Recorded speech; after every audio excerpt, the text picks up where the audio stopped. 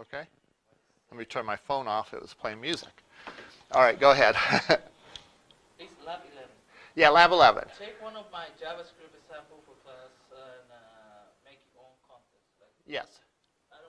Uh, yeah, um, we haven't gone over JavaScript yet. Uh, I'm going to do a couple uh, simple examples Oh, okay. in class, like how to do an image swap. That's a classic JavaScript one where you have thumbnails on the page.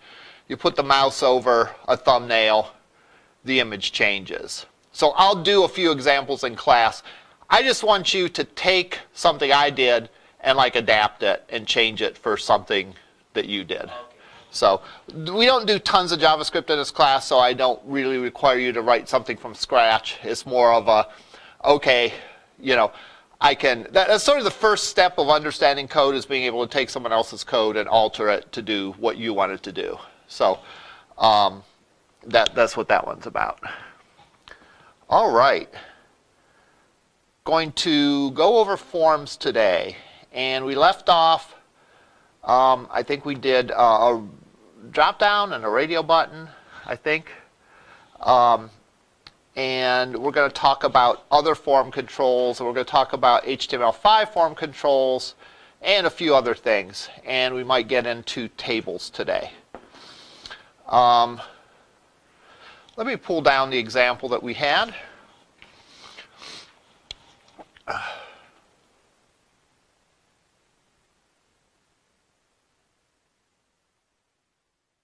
You missed a very lively discussion about birds and, and, and geese and how mean geese are and how big ostrich eggs are. And the people in the online class, you missed it as well. It's, it's a shame. I wish you, you could all be here.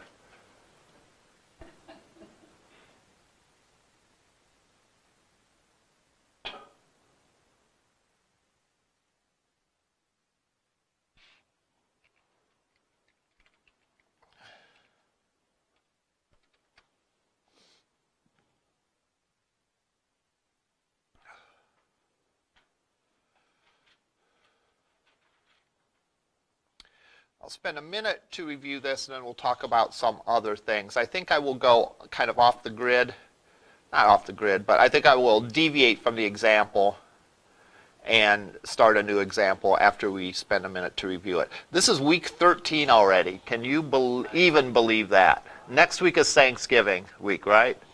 Okay. Three or now the big bird. I got to eat another big bird, right? It all comes back to birds.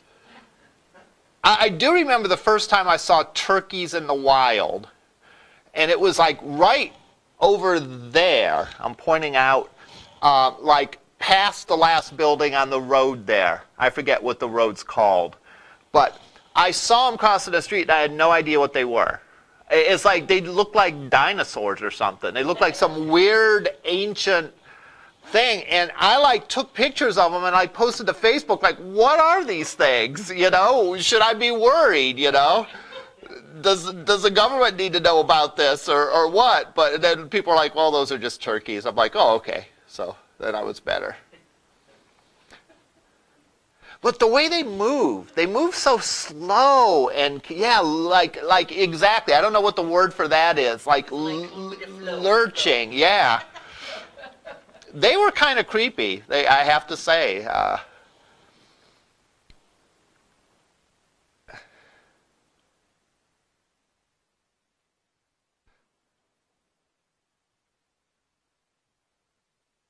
okay, so here's what we had. We had two versions of this form that did a Google search, and um, the difference being that we used a drop down and radio buttons for the language choice.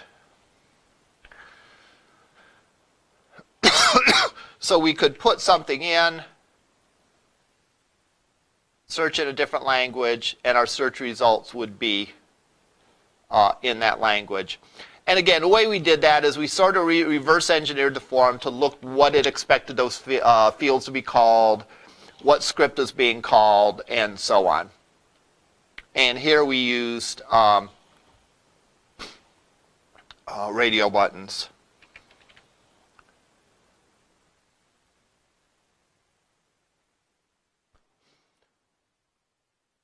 Let's bring these up real quickly.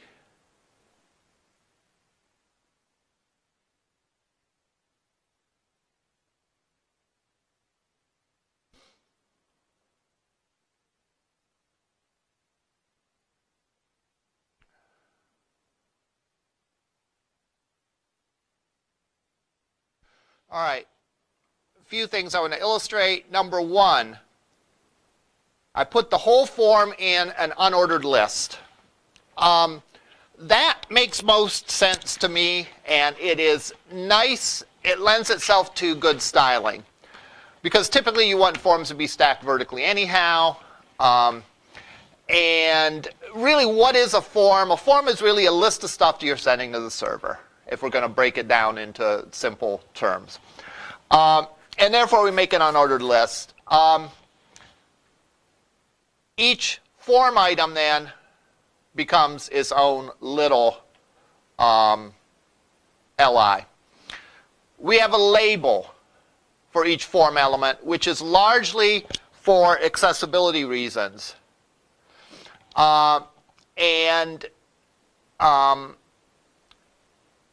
for people that can see, this is one of those things that you don't even really think about. But people that can see, it's easy to tell that this label belongs with this box.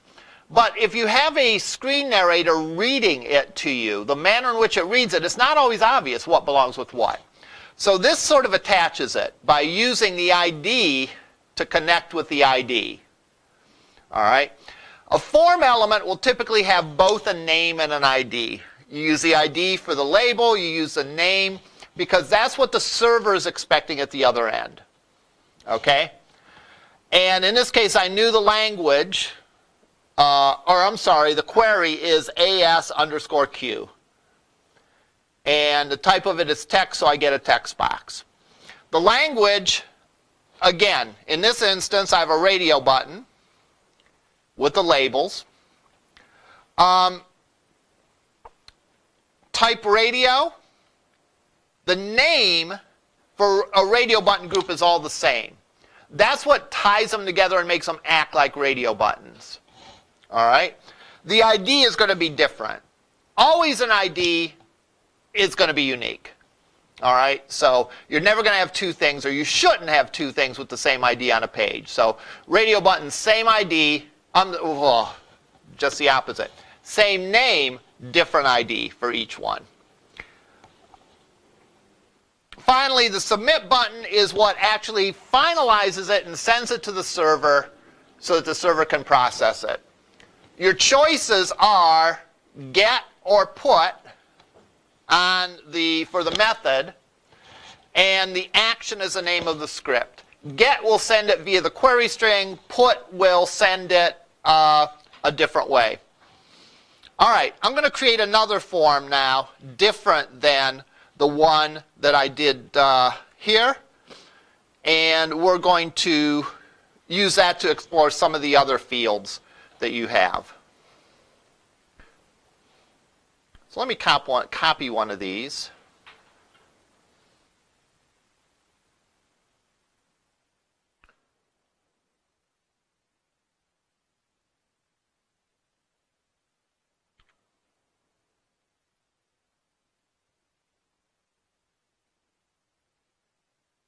And I'll keep the same style as I put different things on the page. We've gone over text boxes and um, radio buttons and drop downs. So let me go over a couple other uh, examples.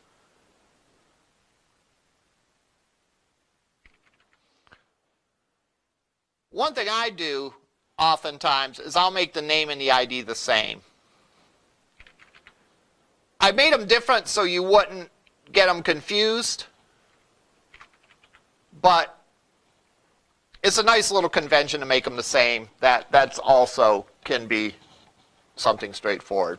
All right, so I'm just making a name field here, and I'm going to put the next thing. We've already gone over radio uh, radio buttons and drop down, so in the interest of time, I won't do them again. I'll do a checkbox though. So add to mailing list that very famous checkbox that you see on a lot of uh, forms, or agree to terms and conditions, the one that people check without ever reading it.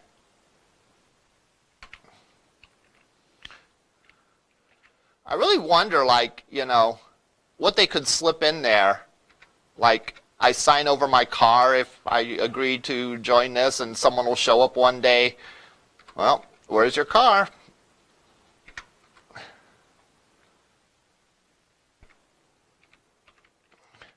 A checkbox is where you have um,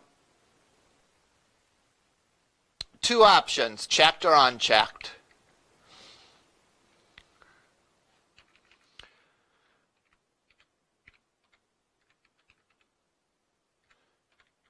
Input type equals check. And this is important. It'll again have a name and an ID.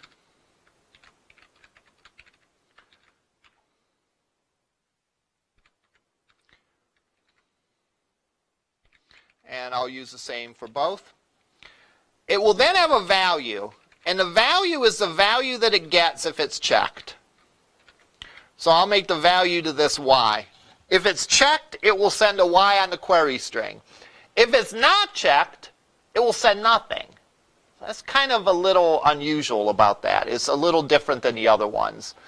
Uh, the other ones always send a value one way or another. Checkbox doesn't always send a value. All right. Now I'm going to change the action of the form. What's the action again? The action of the form is um, where we're sending the form to be processed. And I've ran across for my University of Akron class a cool little website that I'm looking for now that allows you to sort of practice send data to a server if you want to practice forms. And let me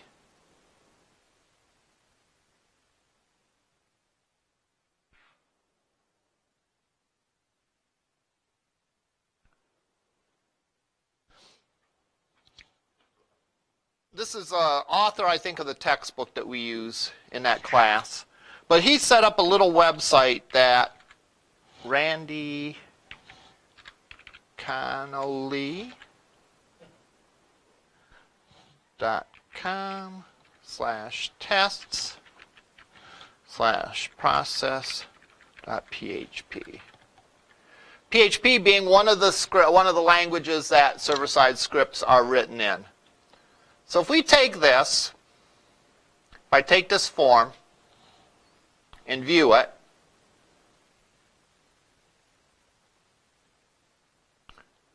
I lied. But my lie exposed something important. It's type equals checkbox, not check.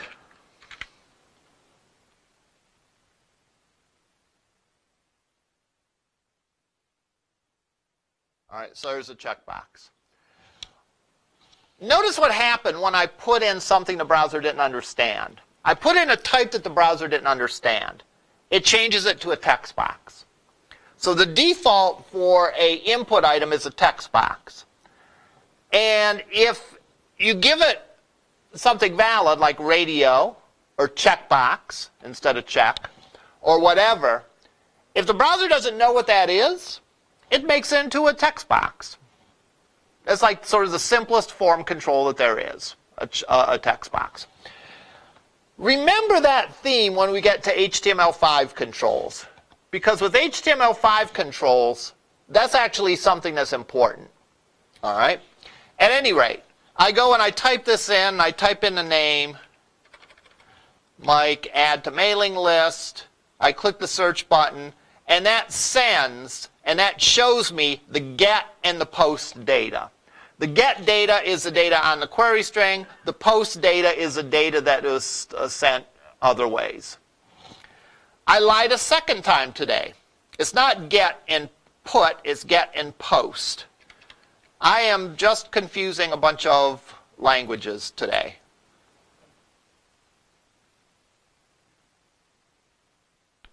So now if I put it in, if I change that to post instead of get, notice the get data is empty and the post data is filled up. So this just demonstrates that there's two ways to send data. Um, there's reasons why you would do one versus the other. Um, I could actually take a link and hard code a Google search link uh, to say, like, if you want to, to search for something, you know, he'd go here, and it will show me, uh, you know, it, will show me the, the search results without the user having to type anything in. If you pass something on the query string, you can make a link out of it and just put it on your page. You might not want to do that, though. You might want not want to do that for a login. So you sort of send the information uh, in a hidden way on the post. But anyhow, this allows us to practice without uh, knowing, uh, without, without having a server-side script. All right, some other things that we have. We have a text area. A text area is for multi-line comments. A text box is for one line of text. A text area is for when you have multiple lines of text. So it would be good for something like comments.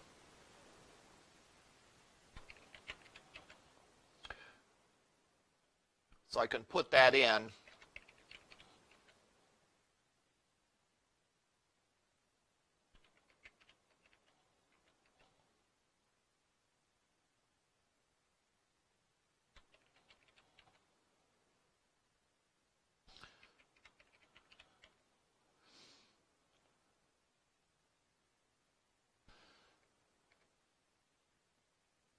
Almost any of these I can put a value in if I want to. And we'll talk about defaults in a second.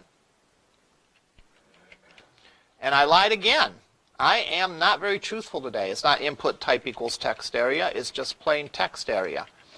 This is one thing that's a little inconsistent with the design of the forms because a lot of them are simply input tags with a certain type and then for a lot of them there's actually separate tags. Like the drop down and a text area actually have their own tag. All right, so if I go and view this now, notice I get multiple lines. And I can, of course, style that to be as big as I want. So I could say text area, I want to be have a height of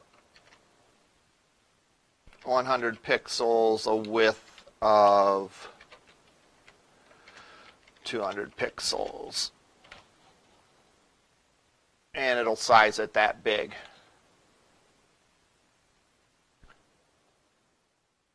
Unless you want to do the thing where you give them an area for comments and you just give them one pixel by two pixel. Yeah. Go ahead and type in what you want to complain about here. Yeah, go ahead. No, that's all right. I came across, I guess, an interesting anomaly text area. Uh huh.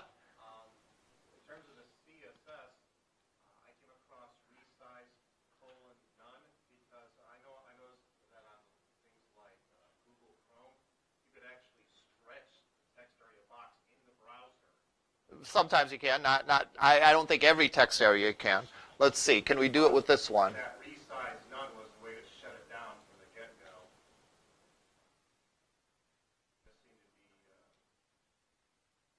Uh... Oh, this is uh, this isn't Chrome. Let's open Chrome. That like Chrome, on the lower right corner, get like these little diagonal bars. Oh yeah, I guess you do. Cool. And why would you not want to allow people to resize it? Um, I know when, when there's other elements around, things kind of get, in terms of a layout, kind of odd looking. All right.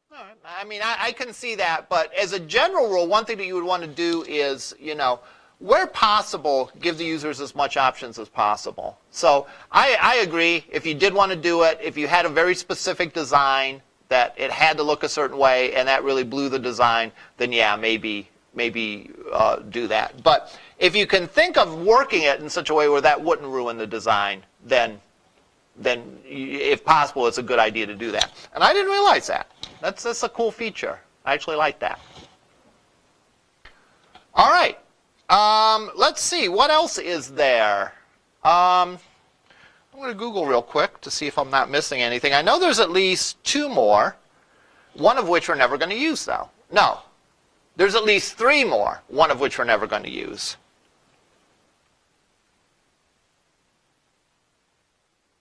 One of them is a password. And a password would be where you don't want to um, echo the, the, what the user types in.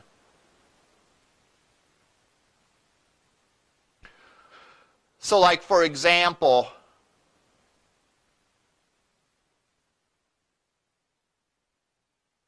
um, if you, uh, you know, like a password field or um, like a credit card number. All right. So we'll put a password on here.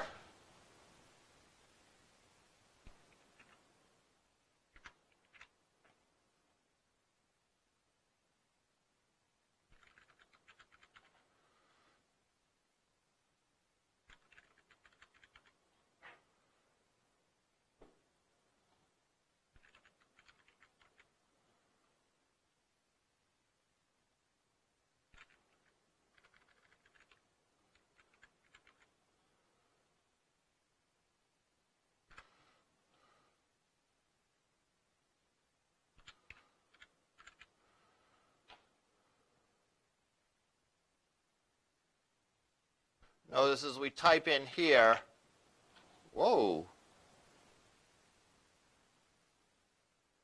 Oh, I forgot to type. Can tell us a Monday.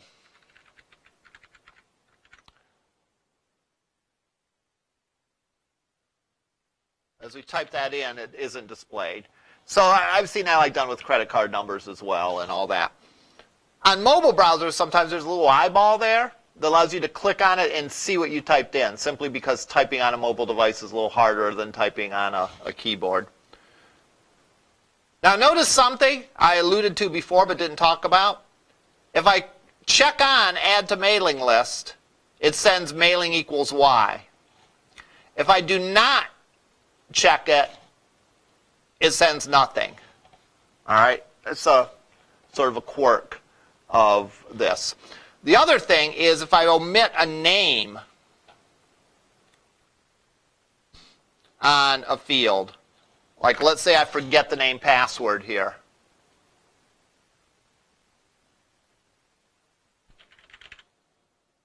It doesn't send it.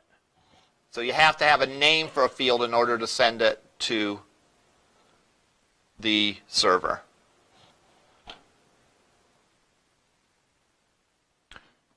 Okay, two other things.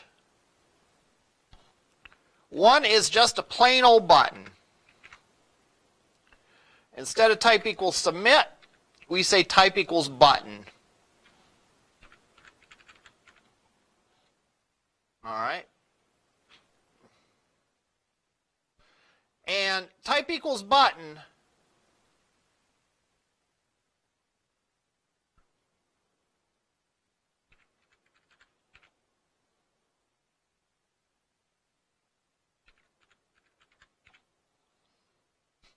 I sometimes typing on a regular keyboard is difficult as well.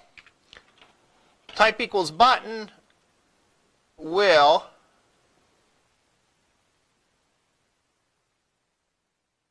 if you press it, nothing happens. All right? And that kind of sounds useless. Well, why have it if nothing happens? What that simply means is there's no default behavior tied to a button. A submit button has a default behavior. The default behavior being send it to the server, send it to whatever script we have on the server, and send the data this way, get or post. A plain old button doesn't have any default behavior. And when we start talking about JavaScript, we will talk about how you can write JavaScript to handle when a button is clicked. So typically a plain old button does some JavaScript on the client side. So I can do a little demonstration of that. What is the difference between CSS and Oh, gigantic difference. They, It's not a matter. It's, it's like what what's better, a car or a steak dinner? Steak dinner. Well, if you had to get to Cleveland from here, steak dinner, you know, maybe you could bribe someone with a steak dinner, but you know, they're used for two different things. So it's not Okay, uh, possibly. Um, but the idea is that they do different things, so you can't say which is better. You know, um, and when we'll see when we go over JavaScript, we'll see the kinds of things that JavaScript does. Uh, the JavaScript adds interactivity to the page. The CSS uh, adds styling and appearance to the page. There are a handful of things. Now, to, to, to get back to your question, which is better, there are a handful of things that you can do either via JavaScript or via CSS. For example, changing something when you mouse over it. You can actually do that in JavaScript and you can do that in uh, CSS. So something like that, maybe you could dis- discuss the pros and cons. But for the most part, they do such different things that it's, it's, there's not that much overlap. But here's a little snippet of JavaScript that's just going to display a message saying hello. Not a particularly interesting piece of JavaScript, but now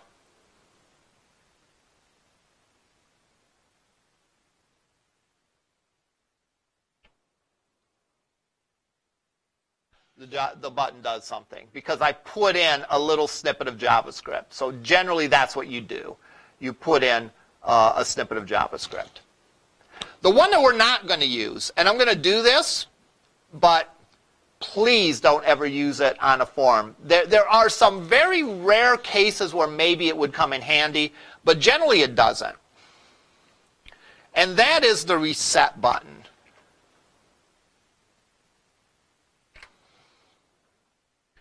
The reset button clears out the form and sets everything to the default values.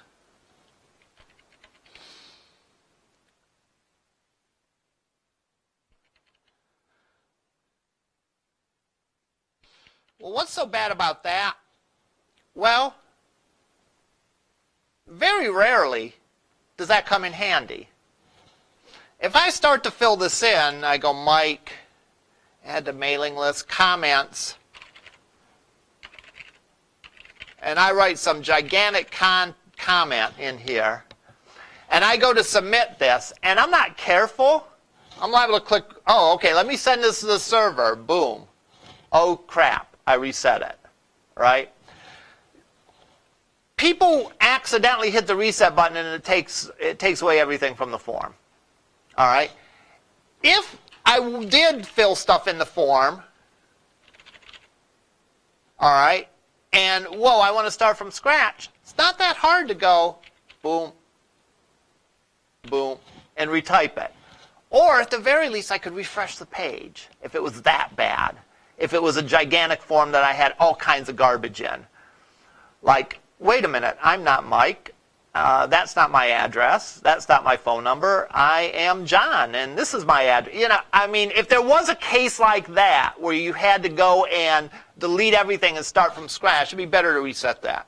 Because people accidentally go and click, click the reset button and cause it to lose it. So very little advantage. Definitely a a uh, uh, definitely a uh, uh disadvantage itself. Let me look to see.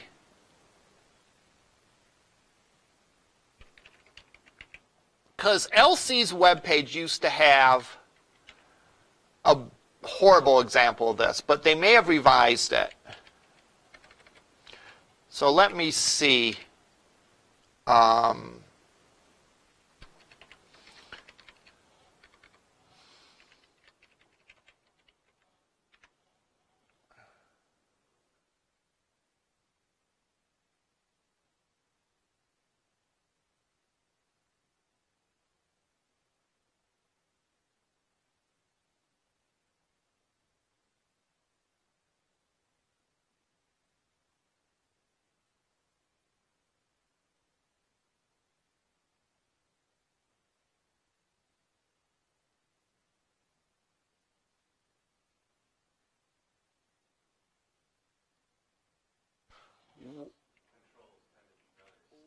wonderful.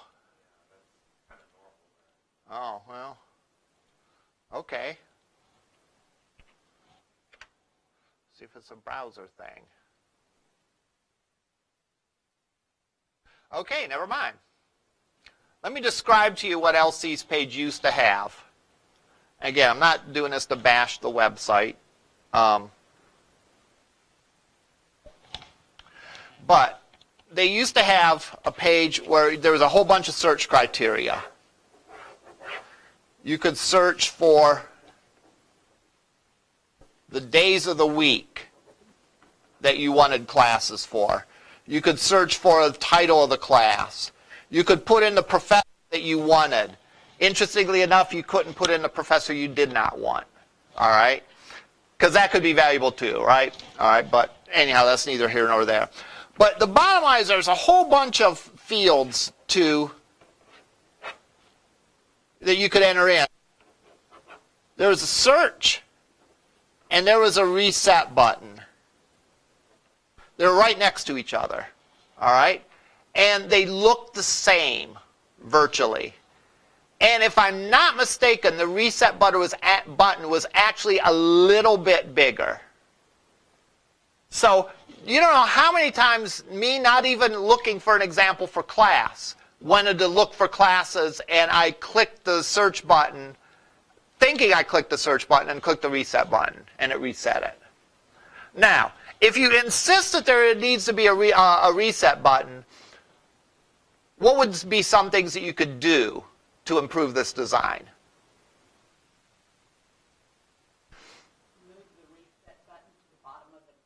Yeah, move the reset button so it's not right next to the search button.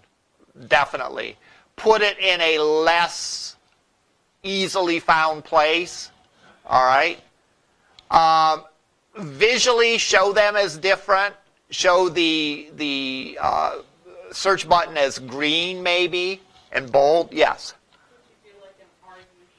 You could do an "Are you sure?" message if that didn't get in the way. Uh, but there's a lot of things that you could do to, to, to do that. So uh, that was such a horrible piece of design in my uh, book because it, it offered little advantages and offered uh, oh, you know a lot of accidental clicking on that. And that gets to just the whole sense of defaults. All right, we can default just about anything on a form. Let me let me copy over the language to this form.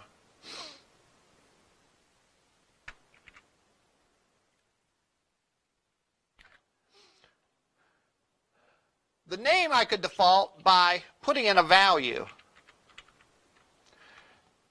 Things in text boxes you normally don't default though. Default though. I don't know. What would be a default name? Bob? All right, it is now. All right. Uh, add to mailing list. We could say checked. Or if you're a purist like me, you'd say checked equals checked. Comments, you could put a value in the same way.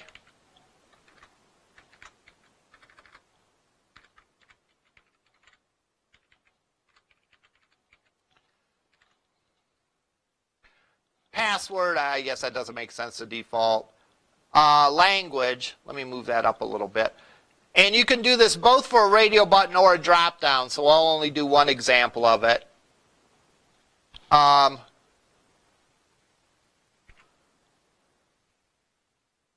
you can say on an option, you can say selected, or if you're a purist, you can say selected equals selected.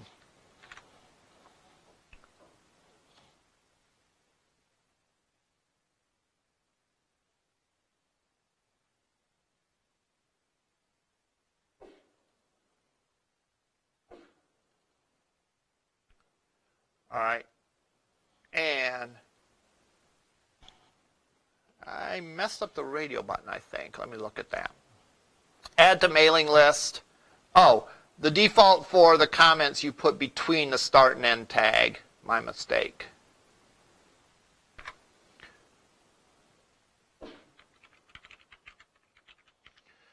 Uh, the radio button.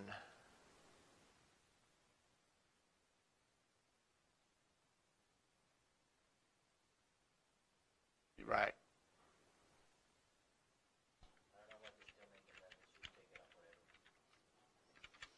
At one point, uninstalling Internet Explorer was a chore.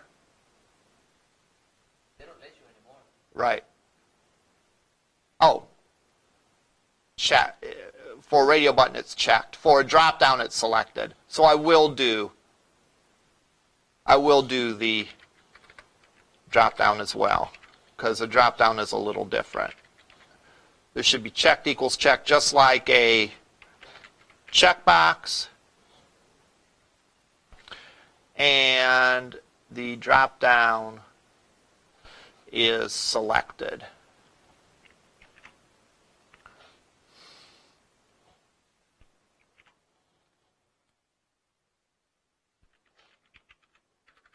I'll pick a different default on this one.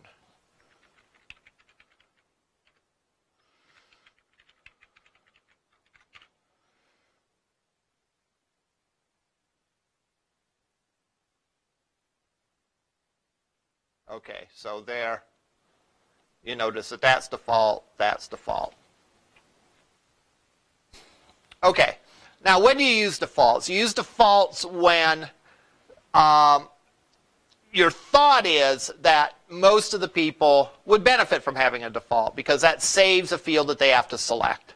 So if I was in a uh, if I was in a site in France, maybe I would default the language to France. All right. Uh, if I was uh, a site in Poland, maybe I'd default it, default it to Poland. I might give other options, but I would default it to what I thought the majority of people were.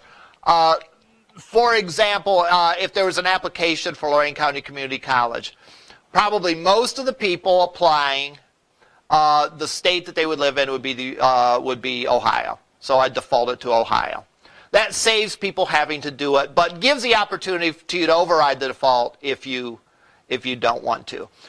The problem with the default is if your if your user's careless, they're liable to just ignore the field and accept the default when it's not relevant. So you have to be careful about that. So don't make something a default unless it's truly a default. Sometimes I'll have students, like when we talk about JavaScript validation and making sure that the user entered everything on the form, will say, well, I'll just make defaults. All right? And that way I won't have to worry about uh, um, doing, uh, you know, uh, doing validation. Well, that, that doesn't work. All right? You should only use a default when it's truly a default. So Bob, no, that's not a good name. All right? Uh, add to mailing list. Generally speaking, they do default it to true. Why? Because they're being a little tricky there, a little sneaky, because they want you to say yes, so they default it to yes. Uh, something like language, well, if you knew something about your audience and you knew predominantly what language they'd be speaking, then have that as a default. One thing about a drop-down list is if you don't choose a default, the top item is defaulted. Whereas a radio button, if you don't choose a default, none of them are defaulted. So here I didn't choose a default for the drop down and the radio button. The top drop down is included. Uh, the top drop down options included none of the radio buttons.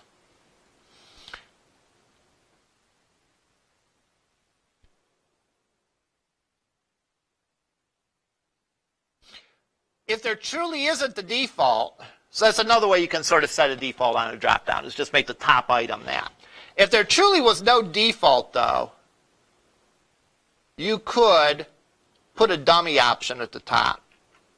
And why do I keep pasting instead of copying?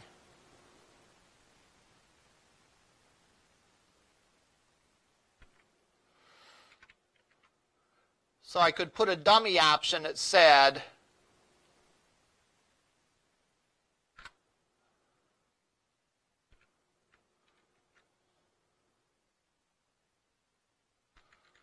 select your language.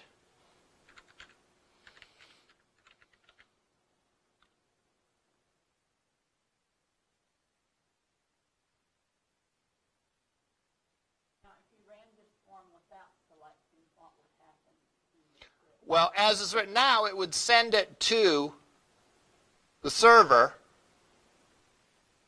with language NA, because that was the value of that choice, and it would be up to the server to uh, to handle that.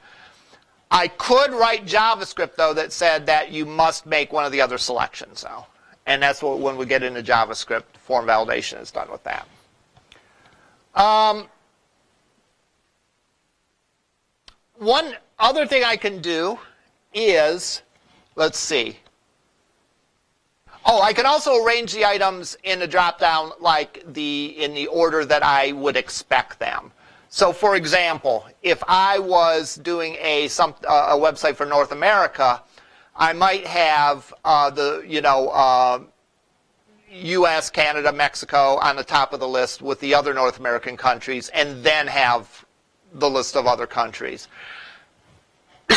Alphabetical is always a good organization, or in terms of the most common, the most used, is a, is a good other organization.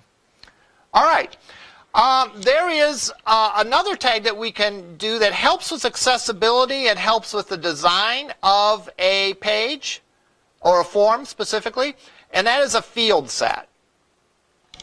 A field set allows us to group forms stuff into uh, other uh, into sections.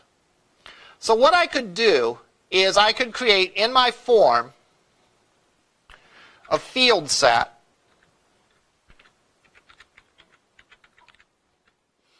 and I could then give a legend to describe what the section of the form was about. So maybe the top of the form is personal information.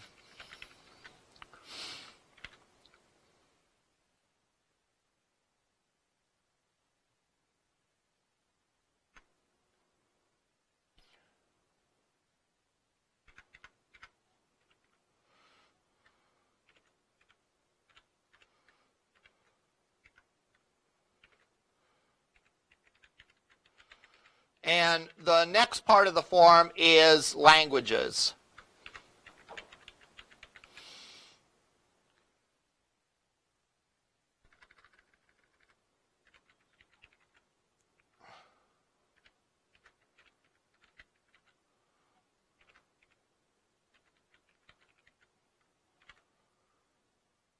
I need a start tag. Yes, thank you. I also need a start UL tag because I closed that other unordered list. And I need to put the end field list here, field set here. Now if I do this, I get a legend and I get a little little border around it. And again, those are defaulted. If I want something different, I can always change it. Let me show you the code because I had the screen off. Field set, legend. Let me also turn, I did turn, let me turn the default back on.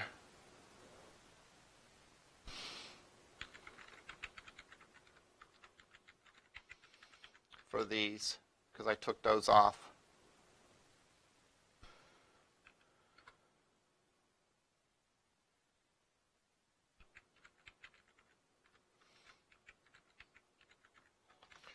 All right. And of course I can style it. So I could say legend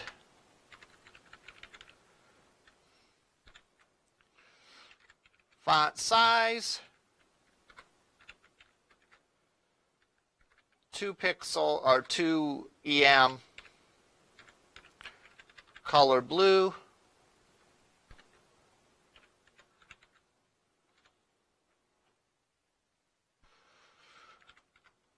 field set.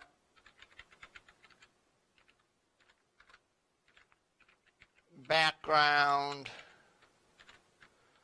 pound sign, CCC, border, 3px, solid, black,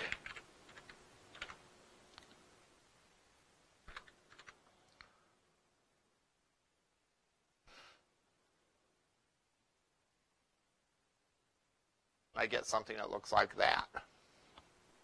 Which again, it does a couple things. Uh, field set uh, can be used for accessibility purposes.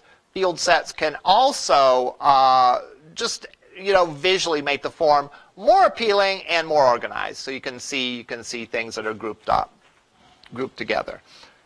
One thing that you can do if you truly have a long form is that you can use multiple pages. That requires client or server-side scripting to accomplish, so we won't cover that in this class. I'll post example. This example, I'm sorry that I did not um, have the projector on correctly uh, for that section. The last topic that we have to get for this, and I'm just going to introduce it, and we will go over it in more detail next time, is HTML 5 controls. What I've showed you this part this part, up to this part of the discussion, was stuff that was around in HTML4 and even earlier. All right. HTML5 again is the improved version of HTML, where they've made some more tags that can handle some things specifically and do a better job. We saw how there's now a header, a nav, and so on. The people that developed that language looked at some common things that were done and said, you know what, it would be great if there was a tag that handled this. And they made one. All right? HTML5, what they did with forms was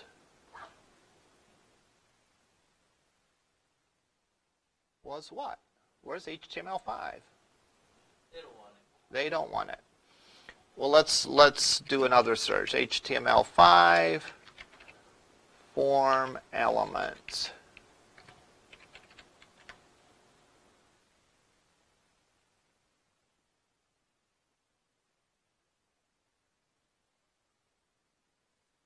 These are just plain old HTML elements.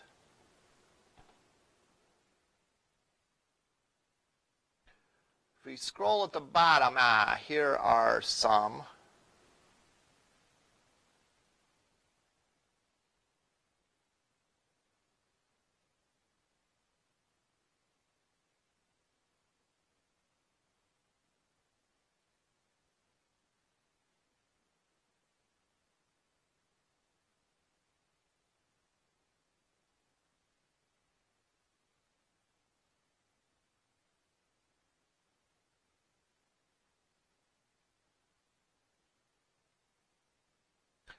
Uh, neither the browser nor me seems to be working very well today.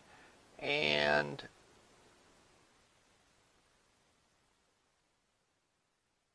I'll tell you what, we'll just cover it next time. There's a list of things that are new in HTML5 that are sort of more specialized version of the input tag. You can create an, uh, uh, or the, yeah, the, uh, the text tag. So you can create, for example, a text box that only accepts dates, all right, which is nice. Uh, previous to that, you would put any kind of data in a text box, and then you'd have to write JavaScript validation to do that. There's a catch, though. All right, not all browsers support all the HTML5 tags, input tags. We'll cover that. We'll spend maybe 10 minutes on that, and we'll get into tables uh, next time. So again, we missed one, one class, so we're about one class behind. If you do need to turn in things late, um, that's okay. All right, we'll see you up in lab.